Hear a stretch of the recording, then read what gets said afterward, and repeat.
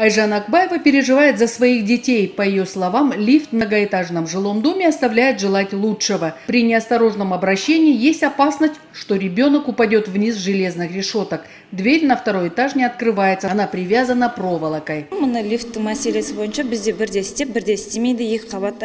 Как видите, лифт то работает, то не работает, ведь в нашем подъезде проживают многодетные семьи. Сосед с ограниченными возможностями во время остановки лифта испытывает трудности. Были случаи, случая, когда беременные оставались в лифте. Эти сетки, они ненадежные. Наши дети знают, что подходить опасно. А если дети гостей уронят игрушки и захотят их достать, через отверстие могут ведь упасть вниз. Поэтому мы стучимся во все двери. За проезд в лифте владельцы 109 квартир ежемесячно платят по 1 тысяче тенге. Они не понимают, почему услугу, за которую они платят вовремя, не получают. Еще одна проблема – мусор вокруг лифта.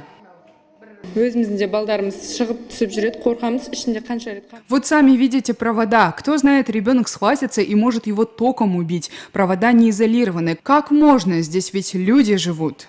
Специалисты учреждения, обслуживающие лифтовое хозяйство в жилом доме 135А микрорайона Нурсат, где проживают многодетные малообеспеченные семьи, граждане с ограниченными возможностями, о жалобах жители знают не понаслышке. Вот только почему-то до сих пор не принимают никаких мер. Да они с лифтером повздорили и решили его наказать, пригласив съемочную группу. А насчет лифта, лифт работает. По жалобе разберемся. Если специалисты не исправят недостатки в лифтовом хозяйстве, жители, говорят, будут обращаться в городской акимат. Шанару Аразова, Монтай Ульбеков, Нургильды Садуакас, информационная служба телекомпании «Отрар».